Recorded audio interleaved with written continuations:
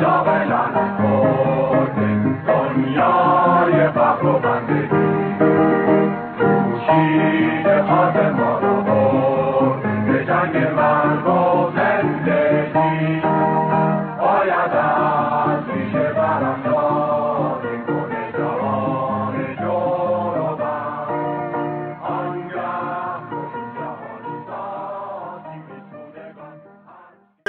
نظر شما رو بشنیم در رابطه با اصلاحات و اصلاح طلبی بعد برگردیم همونطور که آقای رئیسان هم اشاره کردن ببینیم این مفهوم در سیاست ایران و در جامعه ایران چه تعبیری پیدا بسیار خوب. با تشکر از دعوتی که از من من, اومدی از طرف پیام رادیو پیام و همچنین درود به آقای رئیسدانا که در این مناظره شرکت دارن. من در مجموع مشخصا در ارتباط با اصلاح طلبان و اصلاح طلبی در ایران صحبت رو آغاز می‌کنم چون اون شامل مسائل نظری و که تاریخچه پیشینی هم خواهد شد.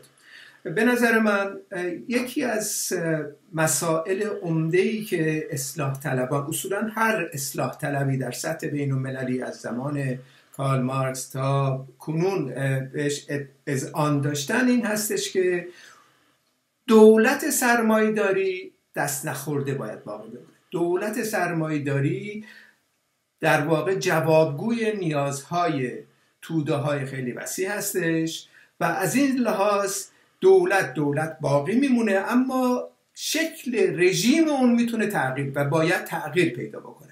بنابراین شکل رژیم یعنی بیشتر دموکراتیزه بشه و یک سلسله مزایایی به کارگران و زحمتکشان بده و انواع اقسام امتیازهایی در واقع که از قبل سرمایداری حاصل میشه تقسیم بشه بین مردم عادی.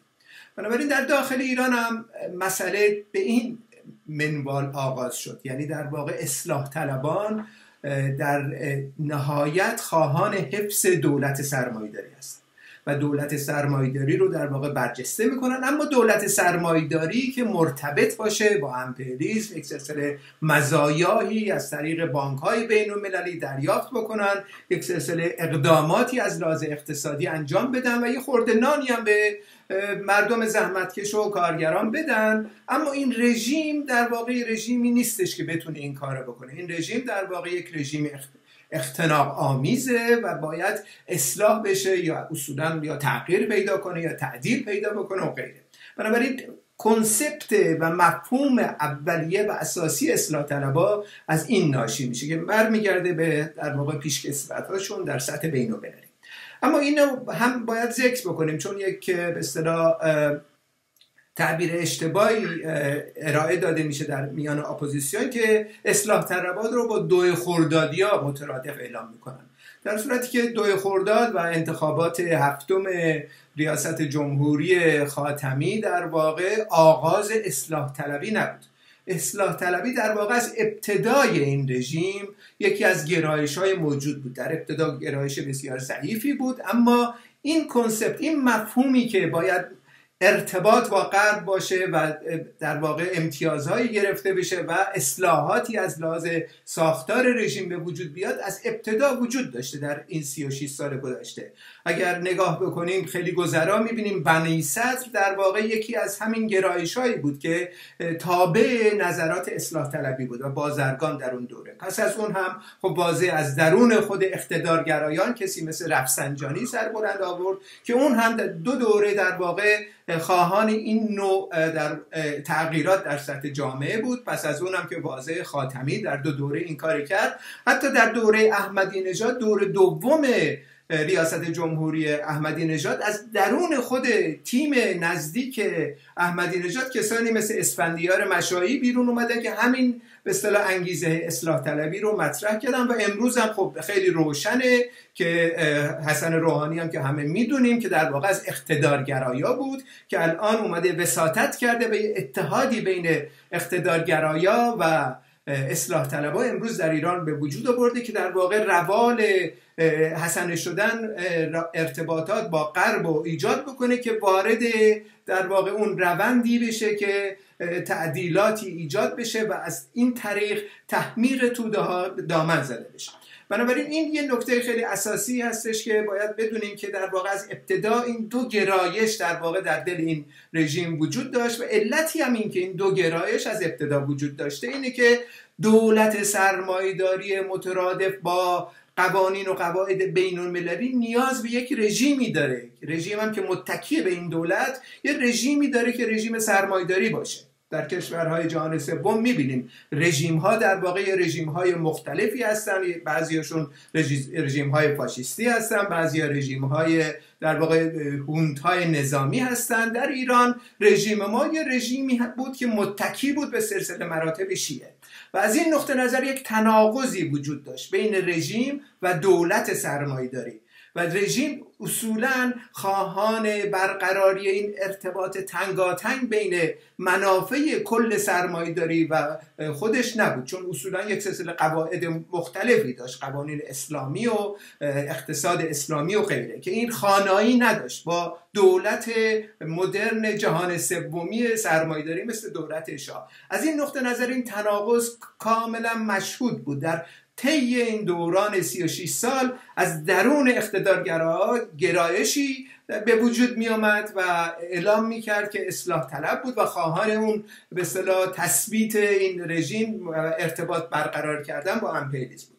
بنابراین در یک همچین شرایطی ما الان در وضعیت کنونی شرایطی هستیم که این رژیم ناچار شده از روی استیصال عقب نشینی بکنه و تسلیم امپریالیسم بشه و در این دوره به نظر من این مسئله اصلاح طلبی یک مسئله که وحدت ایجاد می‌کنه به جناهای مختلف رژیم و اینها شروع می‌کنن در واقع یک برخورد کاملا مشخصی مرتبط با قوانین و قواعد بین المللی و یک فاز نوینی در واقع ایجاد میشه که اونجا مسئله جنبش کارگری و کارگران و زحمتکشان و غیره مطرح میشه که باید در دور بعد به اون مشخصا می‌پردازم. و قبل از اینکه این نکته رو تمام کنم یک نکته ای که دوستمون فریباز رئیسدان اشاره کرد در مورد خشونت بود. اصولا خشونت یکی از مطالبات و خواستهای انقلاب نیستش. انقلابی که خواهان سرنگون کردن نظام سرمایهداری هست اصولا خواهان خشونت نیست. این خشونت در واقع از طریق مدافعین سرمایهداری همیشه اعمال میشه و تحمیل میشه به جامعه. در واقع آنچه که اتفاق میفته این هستش که انقلاب های تدارک انقلاب سوسیالیستی اتفاقا خشونت آمیز نیست و اصولا در هر انقلاب سوسیالیستی هم که رخ داده در دوران انقلاب تعداد کشته شدگان و تلفات خیلی خیلی کم بوده. در پی آن بوده که دولت سرمایهداری که حاکم هست در واقع این خشونت رو اعمال می‌کنه. بنابراین وقتی صحبت از این میشه که مارکس اشاره می‌کنه که خواهان خشونت نیست درسته این بحث. اما در عین حال بحثی که امروزه اصلاح طلبا و جریانات دیگه می‌کنن این هستش که خشونت جایز نیستش. چرا؟ چون دولت سرمایداری مورد سوال قرار می‌گیره. یعنی اینا در واقع می‌خوان به طور مسالمت آمیز رژیم رو صرفا تغییر بدن و تحولاتی در رژیم به وجود بیارن. وقتی طبقه کارگرخواهان این هستش قدرت سیاسی خودش اعمال بکنه یعنی اینکه دولت سرمایداری رو به زیر می‌خواد بکشه. و این در واقع از این زاویه هستش که مسئله خشونت از طرف این اصلاح طلبا مطرح میشه که واقعیت نداره. بله متشکرم شما. آقای رشتان صحبت از این داشتید شما در بحث قبلیتون که حال با دوران خاتمی عمق اصلاحات بیشتر نرفت ساخت اقتصادی که اصلا دست نخورد.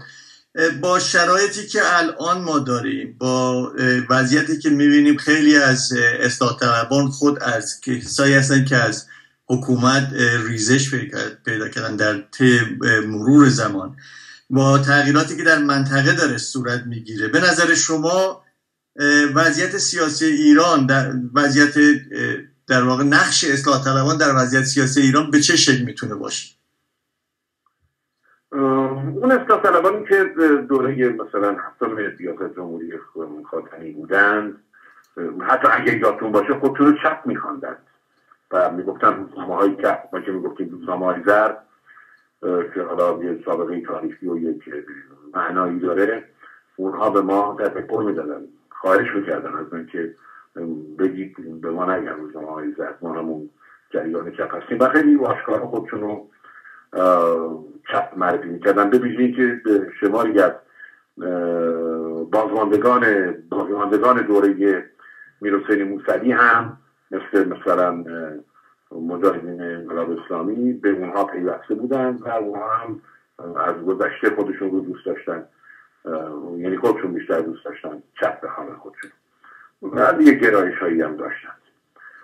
خب این دوره اول ولی به تدریج دگرگون شدن عوض شدن. به تدریج این جریان آشین رفسنجانی این راست میانه که سابقه طولانی در سر خوبه جنبش انقلابیه و ضد امپریالیستیه و طبقه کارگر و جریان های متفاوت چپ و سوسیالیستی مارکسیستی داشت اون سایه انداخت. حتی در موقعی که از قدرت دور بود یعنی در دو دو هشت ساله دوره احمدی نژاد که اونها هم به نوعی راست بودن راست افراطی بودن راست محافظه کار بودن. این بازی تبلیغاتی دروغین رو چه سعی می‌کنن اونها رو یه عددی بگن؟ مثلا احمدی نژاد چپ بوده حالا چون بگو مثلا دیدار داشته. این یک حلک نولیبرال های ایرانی اسلامی است برای که می‌خوان با یه تیر دو تا هدف رو بزنن. چپ رو هم بزنن درگیرشون رو بزنن و اینها رو خلط نفس می‌کنن. یکسان جلوه بدن. به تقدیر دو جریان راست افراطی در ایران یکی آشوی رفسنجانی بوده یکی جریان احمدی نژاد. این بعدا در اختلاف سر منافع اقتصادی که با جناح ناطق نوری پیدا کرد توی همون دوره اول دوره انتخابات ریاست جمهوری دوره هفتم گرایش پیدا کرد به سمت خاتمی مذاکرات پنهان کردن و ناطق نوری آشکارا این ور اونور انتقاد می‌کرد در هاشمی رفسنجانی اون زورش رو گذاشت و برای که متوجه شده بود که رقیبش داره به قدرت می‌رسه و امکاناتی که می‌تونه در دولت خاتمی پیدا کنه نمی‌تونه در دولت ناصر نوری پیدا کنه. برای که یک پایی قدرت اقتصادی دیگه. شوخی نداره این که حالا پسرش گرفته به قضاییه این رو حتما به نظر من خیلی نادرسته که بگیم فقط بازی سیاسی این رو می‌گیره اون رو می‌گیره. بازی سیاسی هست ولی واقعیت اینه که اون تو شبکه فساد قدرت هم بوده. فساد قدرت یا قدرت فساد این دوتا با هم حالا تو انباشت سرمایه در ایران ایفای نقش می‌کنن. بعد اون آمد به این طرف. از همون آغاز دیگه چیزی نگذاشته بود که از اون گویش چرب در میان اصلاح چیزی باقی نماند. بر استخوان پوستی باقی موند. و یکی یکی راه اون طرف رو پیش گرفتن. بعدا در میان این متحدین همین اصلاح طلبها جریان های بیشدت ضد چپ شدت هیستریک نسبت به چپ نسبت به مارکسیستان نسبت به حزب توده نسبت به فداییان نسبت به تمام این جریان ها به شدت نرم می‌کنه. یعنی اون چیزی که نسبت آزادی از خودش یا یا نوشته های بزرگان رو بخونی. به شدت حالت خیلی افراطی تو اینها ظاهرا دیدن موضوع اصلاحات شده و اصلاحات در با خودشون به چپ می‌زنه اینا مثلا در این بردن. ولی اونها هم مثل آچینی رفتنجانی وقتی در درون این جریان اصلاحات رفتن شروع کردن مثل مولیانه از درون اون بخشای چپ رو خوردن و در نتیجه یعنی اون بخشای منتصب به چپ رو حالا. از درون پوسوندن و در نتیجه اولین گروهی که ازشون جدا شدن دانشجوها بودن. طبقه کارگر البته به هیچ کدوم از اینها نپیوسته بود. مگر چهره هایی مگر این سازمان های فعالان کارگری که شمارشون شمار اعضایشون هم محدوده و من هیچ موقع در مورد اونها قلوب نکردم و نمی کنم اونها کنار کشیدن. موج استقبال دانشجویی کنار کشیده شد. و در نتیجه چیزی براشون نموند اینا که بعد در دوره انتخابات نهم به مسیر انتخابات دوره دهم حتی در دوره نهم خوبه. دیدیم که اصلا پیروزی احمدی نژاد یکی از دلایل اصلیش بود که در مقابلش هاشمی رفسنجانی وجود داشت. برای که از اون دو بودن همه. و نگران نتایج سیاست های تعدیل ساختاری و این تبعیض و فساد و بیعدالتی و فقر و بیکاری و قطب شدن اقتصاد بودن توده های مردم. و چیزی که نتونست دولت خاتمی بهش پاسخ بده و رفت سراغ روزنامه بازی و این بحث های سیاسی توسعه سیاسی سطحی نیاز مردم بود فقیر شده بودن تبرام زده شده بودن بیکاری و قول فقر یقشون رو گرفته بود. با شعارهای پوپولیستی که احمد نژاد مطرح کرد به اون سمت رفتن به این ترتیب حالا خلاصه می‌کنم در این فرایند بود که دیگه اصلا چیزی از اصلاحات باقی در انتخابات دوره دهم که میر حسین به میدان آمده بود میر حسین از لحاظ سیاسی از لحاظ آزاداندیشی هرگز به اندازه خود خاتمیت نبود. منتها یادگارهایی که در یه جیره بندی جنگ از خودش به جا گذاشته بود اینها رو بقایای اصلاح طلبا به کار گرفتن تا بخوان از این چهره نشان بدن که بیشتر از احمدی نژاد به فکر مسائل و مشکلات مردمه ولی در این حال آزادی خواهد بله. و اصلا آزادی خواهد این سنتز رو سعی کردن چهره بسازن به این شکل. و این چهره رو توی جامعه سیاسی مطرح کردن. حالا اینکه اون انتخابات واقعا تقلب بود نبود. الان مورد بحث ما هست. که من می‌خوام از بگیرم بعد میگرده به پرسش از کاری و این است که از اصلاح طلبان به اون معنی گذشتهش که همینطور که آقای رازی فرمودند مستقل از این خاطرینی از این جریان سیاسی هم وجود داشته. دیگه چیزی باقی نمود الان هم چیز قدرتمندی باقی نموده همین که دل دادن به حسن روحانی اصلا روحانی چهره اقتدارگرای محافظگار سوابقش رو همه داریم. به این دل دادن نشان دهنده این که از خودشون چیزی باقی نمونده. نسبت آزادی اعلامیه داد بیان نظر داد رهبرشون یزدی گفت ما بدون دولت روحانی هیچ پایگاهی در جامعه نداریم. البته این یکی رو درست کن قبلش هم نداشتن. ندارن دیگه متوقف شده تنها بخشی هست بخشی از جریان های اصلاح که علائقی در میان مردم نسبت به اونها وجود داره. ولی اونها به طور سازمان یافته نیست در صحنه اونم جریانی موسوم به ملی مذهبی است که سعی می‌کنن چهره رادیکال خودشون رو و متمایل به چپ رو حفظ بکنن با باقی مانده نیروهای واقعی چپ. ارتباط برقرار کنن ولی اونها هم دیگه نیروی یعنی در جامعه اگر هم علاقه به نفعشون هست محدوده در این کارگر که قطعا نیست یا اگر باشه بسیار کمه. و در طرف متوسط رادیکال هم محدوده و بعدم اینها سازماندهی ندارن که بهشون دست پیدا بکنن به, آن نیروی اجتماعی که بهشون تعلق داره. خلاصه می‌کنم حرفم اینجا. هیچ وقت من مطابق تاریخ اقتصادی و سیاسی را تاریخ اقتصاد سیاسی رو مرور می‌کنم. کمتر موردی به اندازه امروز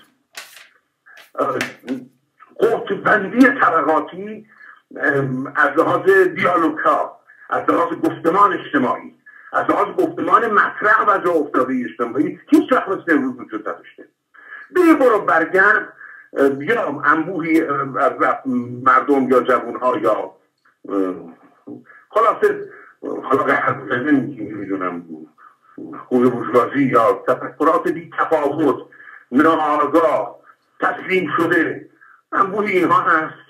کارگران هستن که در واقع به معنای در خودشون آگاهی دارن. ولی تبلور این آگاهی به صورت یک کنش سیاسی شکل نگرفته. ولی به هر حال اون جاهایی که کنش های سیاسی شکل گرفته قطبندی ایدئولوژیک کاملا کاملا روشنه. این ایدئولوژی رو به معنای آگاهی کاذب به کار نمی‌برم به معنی پیدا کردن شیوه و گفتمان هایی برای بیان آرزوهاشون به معنای سوم ایدئولوژی دارم ازش استفاده می‌کنم. به این ترتیب در محافل همایش ها گفتمان ها راهم بودن ها خارج شهر رفتن هایی که ایران داریم. اصلا بحث فایده است. همه هم می‌دونن. مگر از اوقات دوستان مثلا در یه شهرستانی میان سراغ ما یا برن اونجا که دوستان می‌خوان صحبت بکنن یه ایرادایی دارن. اما بحث عمومی بیکامل بیفایده شده. چرا؟ برای که سفارایی مشخصه. اونی که دیگه روحانی رو بد و بدتر می‌دونن راهی این چپ ها به شما می‌خواد دوباره نمی‌دونم دنبال امام زمان خودتون میگه این حرفا که می‌زنن این برو برگرد هر چی استدلال بیاری گوش نمیدن اونها شرم از همت اقتدار طلبه های نمی‌دونم قدرت هاشمی رفسنجانی از این چیزا میطلبن. هیچ آمادگی ندارن هیچ هزینه ای رو پرداخت بکنن. و این به خاطر هزینه منفعتیش که با خودشون دارن می‌کنن منافع تایید وضع موجود براشون عالی و اصلی شمار زیادی از اصلاح طلبها به این بر رفتن در دو قوچه هم برای چپ ایستادن از عربستان سعودی حمایت می‌کنن. برای که از این ایستادن داعش رو در واقع آرزوی پیروزیش رو بر بشار اسد می‌خوان. ببینید حرفای شوینیستی مثلا فلسطین به ما توی مشت عربه نمی‌دونم سوسمار خور از این صورت. پشت اینها ایستادن اینا تمام منافع طبقاتی. دیگه نمی‌تونیم بگیم اینا آگاهی و بشینیم نصیحت بکنیم از شست رو بگیم عربستان سعودی داره چیکار می‌کنه؟ محکوم کردن جنایت های عربستان سعودی و ناتو در ترکیه و اینا به معنی تایید نظام فعلی نیست. دیگه از این حرفا گذشته. از این طرف هم بچه های کارگری بچه های چپ بچه های سوسیالیست بچه های دموکرات رادیکال رایش این طرف که هستن. اونها هم در واقع تکلیفشون روشنه. دیگه می‌دونن تکلیفشون با خودشون روشنه. می‌دونن که بازی نمی‌دونم بد و حالا از این راه بریم از این کمتر اون رو نداره. یک درس بزرگی که الان آقای راضی هم اشاره بهش کرد. یه درس بزرگی ما داریم. در تاریخ جنبش های سیاسی این سخت بود یاد دادنش. حتی برای بچه های چپ ولی این درس خودشون در ایران گرفتن. اون این بود که میزان تلفاتی که در دوره های اصلاحات در سراسر جهان داده شده خیلی بیشتر از میزان تلفاتی که در دوره انقلاب داده شده. معمولا اگر تلفاتی هم در انقلاب بوده مربوط به ضد مربوط به حمله های ضد انقلاب اون طرف بوده مثل مثلا جنگ های داخلی که در شوروی انداختن. الان این رو دیگه بچه ها می‌دونن دوستان می‌دونن کارگران فعال می‌دونن که در دوره اصلاحات این هزینه ها سنگینتر از اون حرف که اینا بخوام برن دنبالش و بگن که خب در عوض ما برای به دست آوردن هدفهایی هزینه های کمتری می‌پردازیم. اونها می‌دونن که دل بیرحمه. این ارباب به ثروت و قدرت که به شکل های مختلف مثل گربه مرتضی علی میپرن دوباره میشینن سر سفره. اینها غیر قابل اعتماده. اینها آماده هستن برای گرفتن هزینه های سنگین بیشتر. از من نیست؟ سال صدا تو؟ مثلا صدا راه حلن از را بهترن مطلقا مطلقا.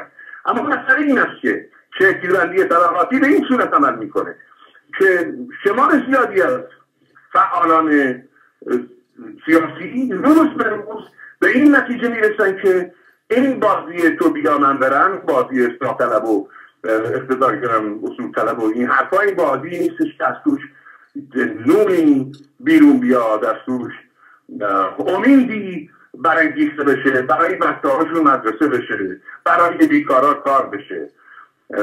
این شناخت اینی هم به وجود آمده در میان روشنفکرها حتی آخر هم اینکه سفارایی چپ و راست جدی شده. حالا مثل همیشه. این وسط هم کسانی داریم که گیجن یا معصومانه گیجن بیان می‌پرسن. یا اینکه واقعا شرایط اجتماعی در بیشتری اونها رو نگه داشته دیگه. متشکرم. خواهش بودم آقای رازی من سوالی را شما دارم که بعد, بعد از این از آقای رئیستان هم همین سوال رو خواهم پرسید. در رابطه با وضعیتی که در منطقه و در جهان الان هستش در یونان در اسپانیا انتخابات پارلمانی اخیر ترکیه بهار عربی اینها یک وضعیتی رو ایجاد کرده که شاید بگه که حالا علا رقم تمام مسائل بهتره که ما راه رفرم رو بریم یه مقدار به قولن با صبر و حوصله به مسائل برخورد بکنیم تا بتونیم به نتیجه برسیم. آیا از دید شما این تا چه حد می‌تونه مقبول باشه و اصولا در شرایطی که حالا هم شما هم آقای رئیستانا بهش اشاره داشتین با وضعیتی که در ایران هست با خصیصه های خاصی که داره آیا این امکان پذیر هستش یا نه؟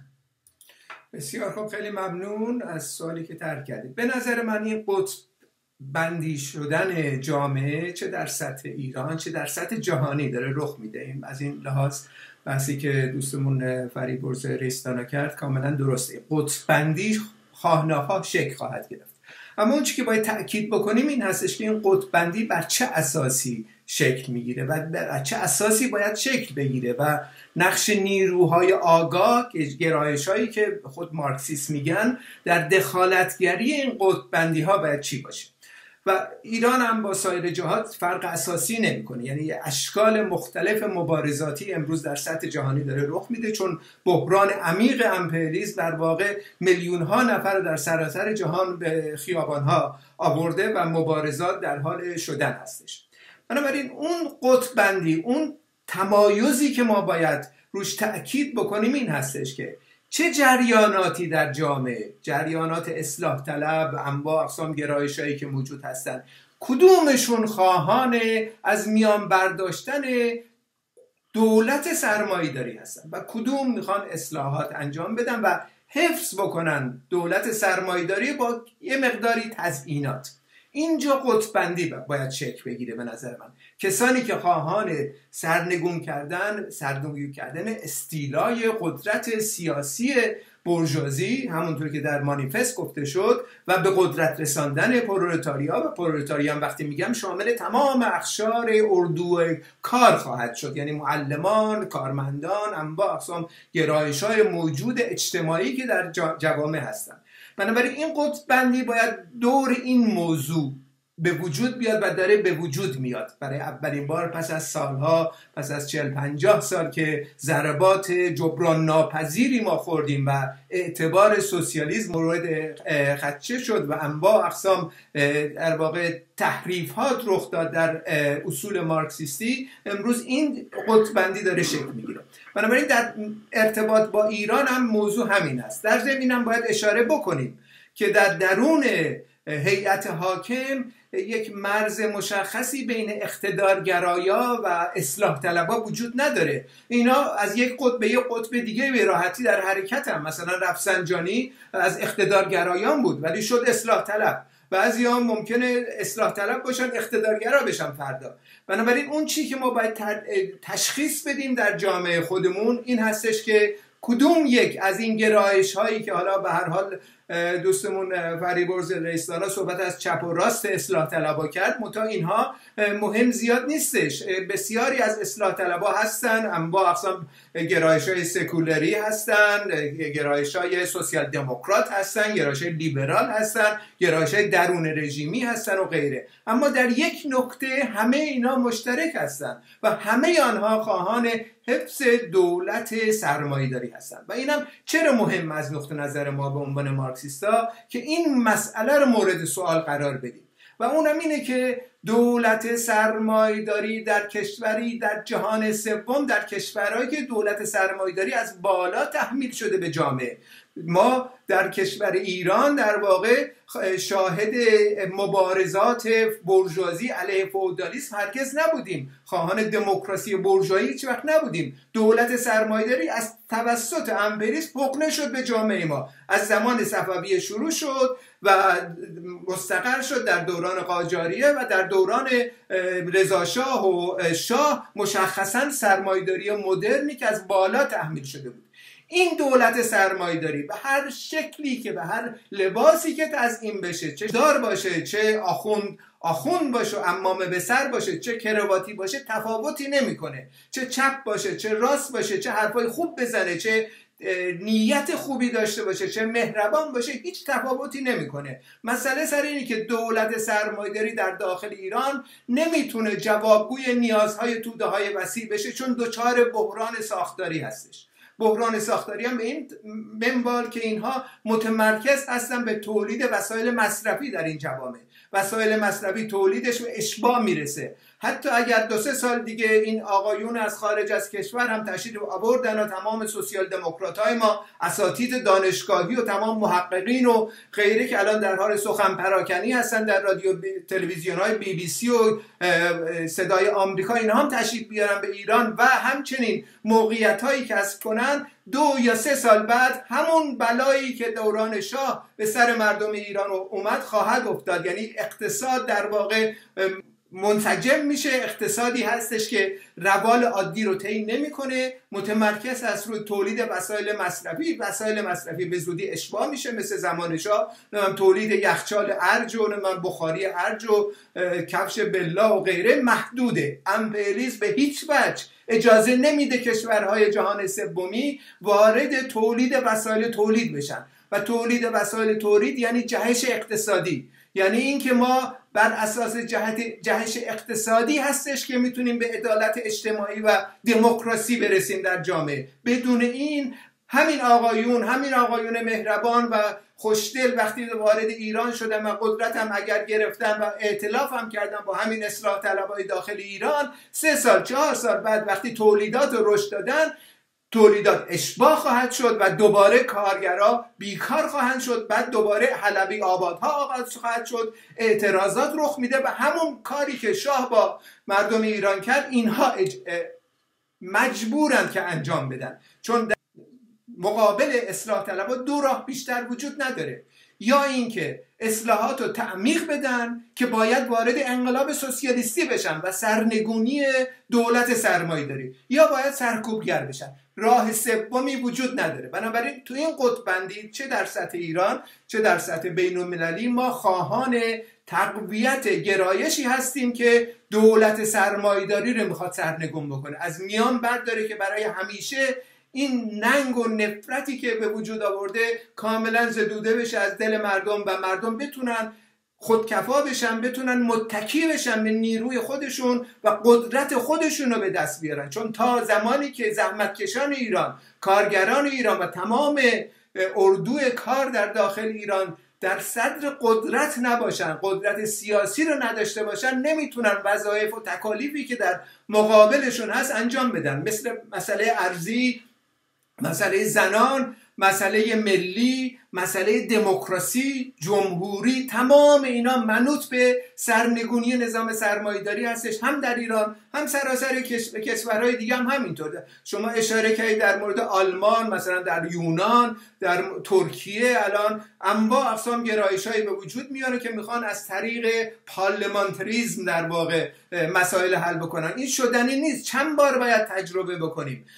تمام این داستان ها منجر به این میشه که برجازی و امپریالیسم این اقلیتی که در واقع در کل جهان این یک درصدی که در کل جهان خون مردم رو دارن میمیکن قویتر و قویتر بشن. تنها یک راه در مقابل ما هست. همون بحثی که مارکس در مانیفست می‌کنه. و اونم اینی که باید پولریتاریا رو در قالب پولریتاریا در اردو کار مجهز بکنیم برای تسخیر قدرت سیاسی. تا تسخیر قدرت سیاسی صورت نگیره هیچ گونه از اهدافمون ما بهش نخواهیم رسید و مرتب مورد تهاجم در واقع سیاسی اقتصادی فرهنگی این جانورانی که در سراسر جهان داره خون مردم رو میمیکن خواهیم بود. بله متشکرم. بشنیم نظر شما را آقای رشتان ببینید من از اینجا یک اختلاف نظری با آقای رازی پیدا می‌کنم. اینکه دولت سرمایه‌داری رو بکنم یعنی چی بذارم؟ داشت دولت سوسیالیستی. دولت سوسیالیستی قبل از سوسیالیسم نمیاد همراه با اون میاد. در مسیر سوسیالیسم مبارزات پیگیر دموکراتیک و تکالیف و وظایفی که طبقه کارگر می‌تونه تو این مبارزه انجام بده مطرحه بنابراین داستان از دستور عمل نظری بر روی کاغذ بیرون میاد. ایشون فرمودن که طبقه کاری الان ما 13 میلیون 13 ممیز 25 میلیون کارگر داریم در که نزدیک سه میلیونش بیکاره. به جز اون معلمان هستند کارکنان ردی پایین دولت هستند پرستاران هستند و خود اون کارگرها هم بخش کنیش کارگران زراعی هم 500 هزار نفر کارگر صنعتی کشاورزی داریم. بخشی از اینها در واحدهای بزرگ مثل نفت مثل خودروسازی و بخش اندکیشون به اریستوکراسی کارگری متعلق شدن. بخش زیادی از کارگرای ما 10 درصد 8 درصد نیروی کار 8 درصد 6 درصد به درصد بسیاری به شرایط اقتصادی تو بخش ساختمان هم. آگاهی های طبقاتی به حد صفره با این مجموعه ناهمگون یه دفعه ما نمی‌تونیم اینجا بگیم. یعنی اینکه نه که نخواهیم. اینطور نبودی که مثلا گرامشی نخواسته یا وابسته بوده. احساس کرده توی خود جامعه که فاشیزم داره بر بنیاد ناآگاهی ها تنوع و شکلبندی های متفاوت جامعه حرکت می‌کنه. متوجه شده که کار دیگری هم لازم انجام بده. از نظر من در آن در مبارزات دموکراتیک یعنی یک دموکراتیزم تجیر. به منزله این است که انقلاب لحظه شروع و پایان نداره که. لحظه طول... یه جریان طولانی است. انقلاب فرانسه دو سال طول کشید صد سال طول کشید. الان هم یک شبه ما بگیم که مثلا دولت سرمایهداری باید بین بره. در حالی که بخشای زیادی از جامعه نسبت به تمام اون تجربه هایی که تو این کشور همین کشور خودمون به جان وجود داشته نسبت به تشکیل یک دولت سوسیالیستی بدبینم من خوشبینم من می‌دونم چی میگم. ولی در این حال ما چه در این انقلاب نمی کنیم انقلاب در تخصص توده هاست. در اونجا هستش که کشاندن مردم و درخواست از اونها برای اینکه وارد یک پروسه مبارزه دموکراتیک پیگیر بشن. یعنی چی؟ یعنی خواست مشارکت زنان حقوق برابر زن و مرد. یعنی خواست تسلط همه مردم برای منابع زیرزمینی روی زمینی و محیط زیست. یعنی که شما نمی‌تونی یه بگی من پارلمان عبد می‌برم حزب رو برقرار می‌کنم. قدرتش رو چیزی که لنین حتی نگفته بوده به نظر من. وقت با این بدبینی که هست. اما همین پارلمان بازی هم که شوخیه اونم می‌دونی. من مطلبی از مارکس دارم که البته متعلق به جوانیشه ولی بعدا اون رو نحسی نکرده. اون میگه پارلمان ها نمی‌تونه نمی‌گذاره سرمایه داری به کاراش برسه اما اگر در جایی که اراده مردم می‌تونه بر بنیاد پارلمان بخش هایی از خواسته های طبقه کارگر ببره بالا اکثریت رو ببره جلو. خب بکنه.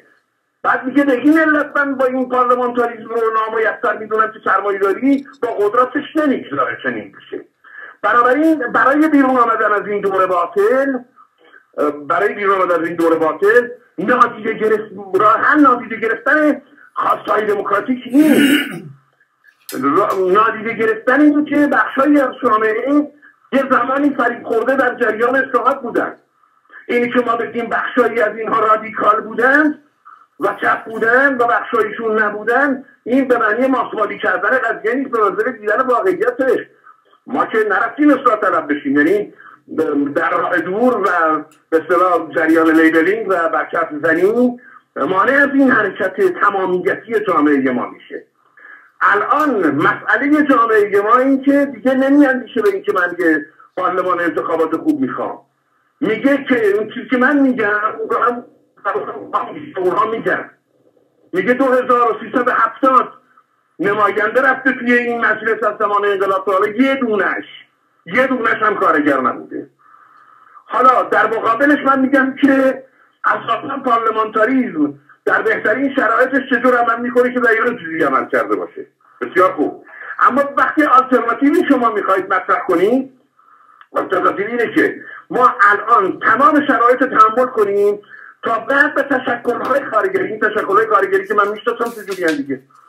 همشون دهم پر کنن. اجازه بدید من رو بگم. ما این توی اما خودانگیختگی طبقه کارگر که به دنبال خواسته های دموکراتیک و سنتیش تو امان میره اون یه چیز دیگه است. سوسیالیسم توی اون بیرون میاد. ولی با نادیده گرفتن اون و رفتن تای خط نشستن و پرچم برافراختن اینی که تمام دولت سرمایه داری بیان ببریم میگه من که دولت سرمایه داری می‌خوام من برم کدام دولت می‌خوام بیارم؟ میگی دولت خودتو و خودشون که نیستن. خودشون در واقعیت نیستن به لحاظ ایدئولوژیک نیستن به لحاظ ذهنی نیستن. به طور عینی طبقه کارگره بله. ولی این هنوز نتونسته که یه مجموعه ای درست بکنه. و این مجموعه نتوانسته است بگوید که معلمان کارمندان دونپایه کارکنان خدماتی هم عضو شما. این قطعه بندی شدن جامعه که دستساز نظام سرمایه بوده در حال در ایران حکم می‌کنه که ما در یک گذار و جریان مبارزاتی دموکراتیک پیگیر حضور داشته باشیم. به نظر من این به معنای جنبش سبز نبود. اون نبود. به همین جهتم بچه های چپ و جریان های کاری یعنی کمتر در اون یعنی با صدای با پژواک در اون شرکت نکردن در کم یا خیلی ها شرکت نکردن. ولی در همون حال شما می‌بینید که جریان های نگرانی هایی در جامعه داره شکل می‌گیره و می‌خواد خودشو جریان بکنه. اما در مقابلش محکم نیستن. مثلا اسید پاشی خب بحث من این است که الان تکلیفی که ما دستور عملی که صادر می‌کنیم نیست که من هدفم سرنگون کردن هر دولتیه. حتی دولتی که بعد از پیروزی انقلاب میاد این داستان های بکنین و انارشیستی و اینا. یا سرنگون کردن دولتی است که عملکرد سرمایه داری داره. خب اون خود سرمایه داری رو اشار کنی؟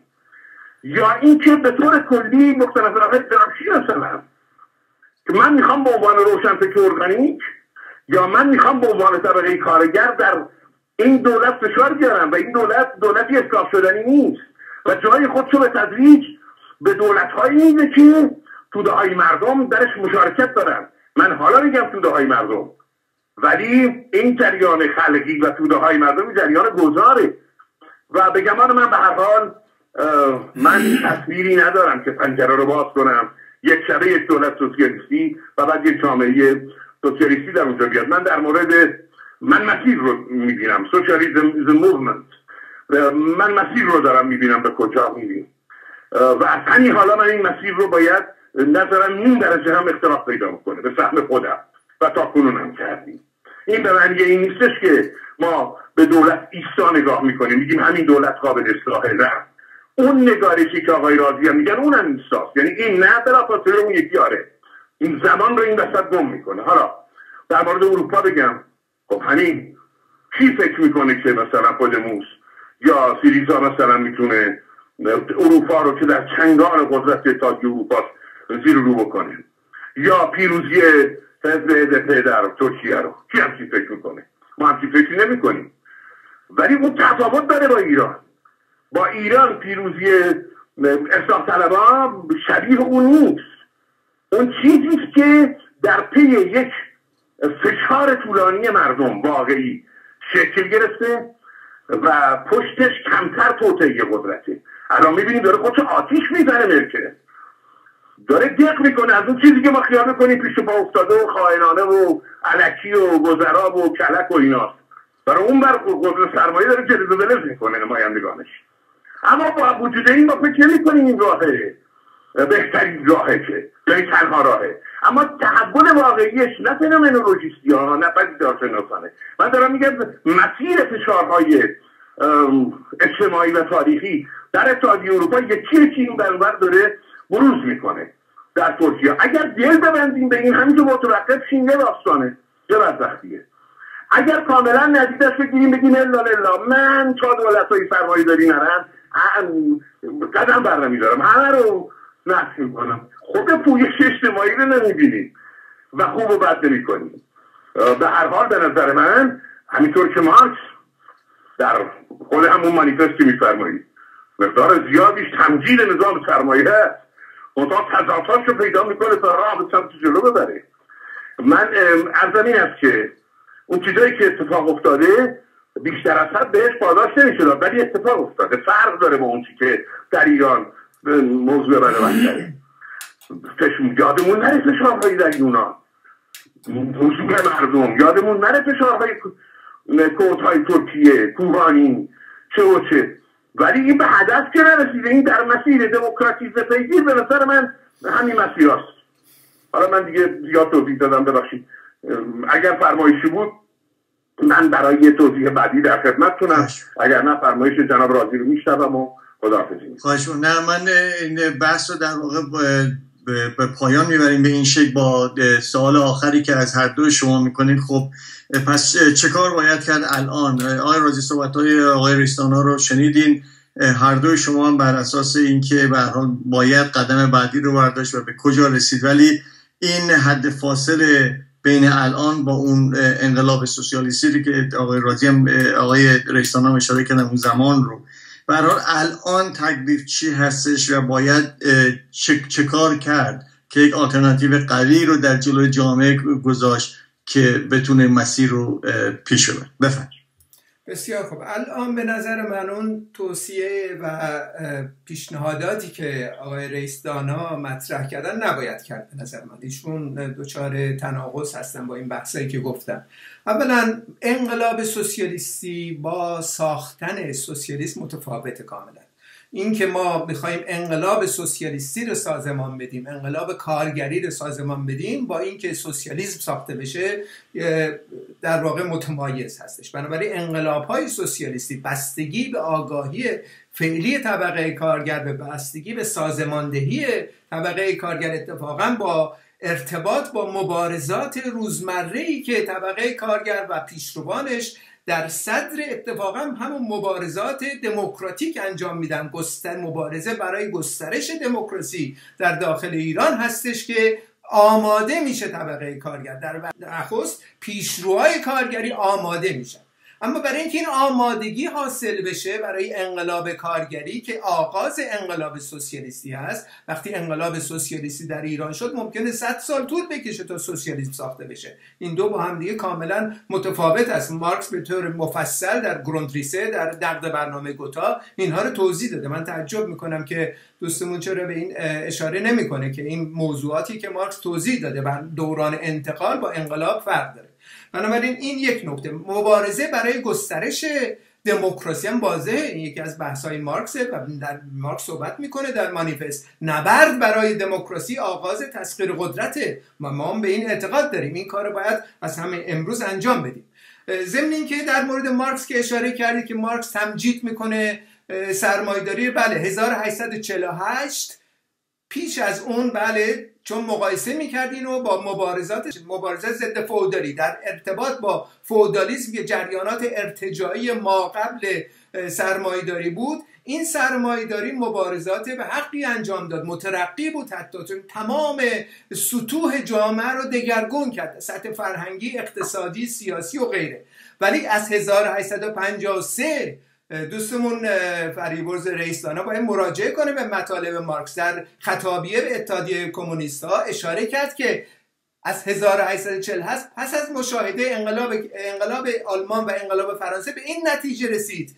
مارکس در 1853 که اینها قابلیت خودشون از دستن به این نیرو ارتجایی مبدل شدن. انقلاب باید انقلاب مداوم باشه. در خطابیه اینه نوشته 1853 چند سال پس از اون نکاتی که در اون دوران بود. بنابراین مارکس در واقع خیلی روشن بر اساس وضعیت موجود پرولتاریا و برجازی موزگیری می‌کرد. اون موضوعی هم که شما میگید که مارکس راجع به پارلمان صحبت کنه مال زمانیه که اصلا کمونیست نشده بود مارکس. 1843 کمونیست شد. پس از اون کجا راجع به پارلمان صحبت کرده که بریم تو پارلمان شرکت؟ تمام بحثش اینه که باید تسخیر قدرت سازمان بدیم. حالا اشتباهی که دوستمون می‌کنه اینه که ماها رو مقایسه می‌کنه این بحثای مارکسیستی رو مقایسه می‌کنه به جریانات استالینیستی و کسانی که می‌خوان تسخیر قدرت کنن توسط حزب. واضحه که ما مخالفین هستیم. حزب که قرار نیست تسخیر قدرت حزب حزب رهنمود میگه رهبری می‌کنه تسخیر قدرت توسط توده های خیلی وسیع باید صورت بگیره. شوراهای کارگری شوراهای کارمندان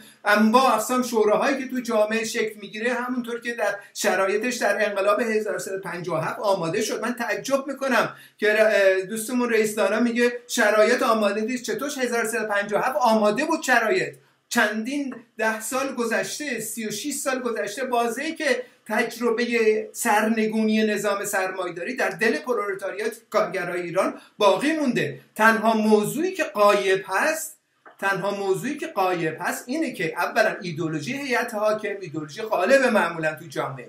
جریانات اصلاح طلب. اما اقسام رنگ هایی که به خودشون می‌گیرن. چپ بعضیاشون هم به خودشون میگن مارکسیست بعضیاشون راست. هر چی که هستن اینها تحت تاثیر ایدولوژی هیئت حاکم یعنی اصلاح طلبی قرار گرفتن متاسفانه. بنابراین تنها صدی که در مقابل ما هستش این نوع عقاید اتفاقا هست. طبقه کارگر الان رأسا وارد انقلاب سوسیالیستی واضحه که نمی‌تونه بشه. مسخره است اگه ما بیایم این حرف بزنیم. ما صحبت از این می‌کنیم که چشمانداز باید روشن بشه. چشمانداز سرنگونی دولت سرمایداری باید در برنامه ما باشه. بعد شروع می‌کنیم همون اقداماتی که آقای رئیسدانا توضیح میده و به درستی هم توضیح باید بریم تو توده ها صبورانه کار بکنیم. هسته های کارگری سوسیالیستی امروز باید ساخته بشه. تدارک برای ساختن حزب پیشتاز انقلاب حزب کارگری. حزب کارگری ما نداریم. این احزابی که خارج از کشور هستن اینا احزاب طبقه کارگر نیستن متاسفانه. و ما به عنوان یک گرایش مارکسیستی حزب اعلام نکردیم. ما به عنوان یک گرایش داره کار می‌کنیم. در ضمن از داخل و خارج هم صحبت کردید رفقا هم نظرات ما در داخل ایران همون در خدمت شما هستن اونجا. اینطوری نیستش که ما از راه دور فقط صحبت می‌کنیم. بنابراین شرایط آماده هستش آقای رئیس دانا. برای اینکه ما تدارکات انقلاب رو بریزیم فقط باید از رفرمیزم از اصلاح طلبی برش قاطع بکنیم. جوانانی که صحبت شما رو گوش میدن باید روشن باشه براشون که شما به طور قاطع باید از این اصلاح طلبی برش بکنید. اگر خودتون میگید ما بین اصلاح طلبان نیستم. اگر برش نکنید مسئله دولت سرمایه‌داری رو مورد سوال قرار ندید این چشم اندازه نه اینکه امروز فردا این اتفاق میفته. این چشم انداز باید در در سلوحه در واقع برنامه تمام مارکسیستا در داخل ایران امروز باشه و بعد مسئله تدارکاته. تدارکات بله ممکنه دراز طی بکنه و انواع اقسام مشکلات هست مسائل امنیتی هست باید بریم زیر زمین کمیته های مختلف بسازیم باید بریم در درون طبقه کارگر آگاهی سیاسی رو بالا بیاریم شعارهای مشخص مرتبط به مسائل امروزشون آگاهی امروزشون رو اتفاقا باید بهشون بدیم. همین الان همین گرایش هایی که به هر حال فکر می‌کنید که هیچ کاری نمی‌کنن الان یه عده‌ای از کارگرای جوان در داخل ایران کمیته اقدام کارگری رو ایجاد کردن که ده سالم قدمت داره. در هسته های کارگری سوسیالیستی در کارخونه ها دارن الان کار می‌کنن اقدام می‌کنن با همین روشی که صحبت کردم. اگه شما راجع به اون نمی‌دونید یعنی بیگانه هست به مسائل مشخصی که در صف مقدم مبارزات کارگری داره رخ میده در داخل ایران. بنابراین این جنبه از مسئله دخالتگری مسئله مهمه. چشم انداز باید روشن بشه. اگه به خودتون مارکسیست میگید اگر مارکس این حرفایی که شما می‌زنید نزده متاسفانه. یک تیکه های از این ور اونور برمیدارید ولی متاسفانه اینها نیستش. مردم در مورد سوسیالیسم بدبینن. خب واضحه که هستن. برای اون کسافتکاری هایی که استالینیسم بر سر مردم آورد خب واضحه. همه فکر می‌کنن سوسیالیسم همون استالینیزمه. سوسیالیسم همون ماویزمه. خب واضحه. ما باید بریم توضیح بدیم که اینا نیست. سوسیالیسم یعنی مارکسیزم. مارکسیزم یعنی اینها. تحریف نباید بکنیم عقاید مارکسیستی رو و یا نقل قولایی که قبل از اینکه کمونیست بشه بیاریم بگیم مارکس هم توهم داشته به برجوازی. در درسته در زمان جوانیش مقالاتی می نویسه که اصلا از مالکیت خصوصی هم دفاع می‌کنه. وقتی 1843 در واقع در پاریس کمونیست میشه دیگه از این حرفا نمی‌زنه هیچ کدوم از مقالات شما این چیزها رو نمی‌تونید پیدا کنید. بنابراین پیشنهاد من مشخصا پیشنهاد مشخصی که امروز دارم اینه که مارکسیستا باید در واقع در میان کارگران شروع به اقدامات مخفیانه کمیته های مخفی رو بسازن هسته های مخفی رو بسازن خودشون رو تدارک ببینن و طبقه کارگر رو تدارک ببینن. برای ایجاد حزب پیشتاز کارگری از اقلیتی از کارگرا خود کارگرا. کارگرای پیشرو در داخل کارخونه عده زیادی از اینا الان تو زندان هستن مثل شارق زمانی و غیره. و این تدارکات حزب رو بریزن برای سرنگونی دولت سرمایداری و هیچ نوع توهمی به هیچ جریان هیچ بخشی بخش های رنگارنگ اصلاح طلبان نباید داشته باشن متشکرم.